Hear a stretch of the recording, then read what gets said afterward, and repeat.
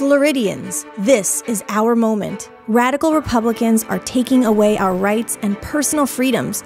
We must take action. On November the 8th, we have the opportunity to elect five incredible pro choice women Senators Loranne Ausley and Janet Cruz, Representative Joy Goff Marcil, and bold newcomers Raquel Pacheco and Janelle Perez. This November, freedom is on the ballot freedom to choose, freedom of speech, freedom to be treated equally. The spirit of Florida is fading.